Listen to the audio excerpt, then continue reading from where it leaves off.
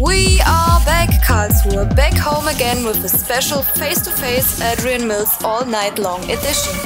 First round of the night, Groovy Round, representing Berlin, the elegant Groovemaster, Überkikz. In the jungle.